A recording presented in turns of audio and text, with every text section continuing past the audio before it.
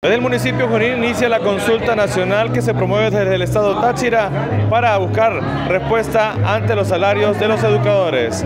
En minutos tendremos más detalles a través de Diario del Pueblo.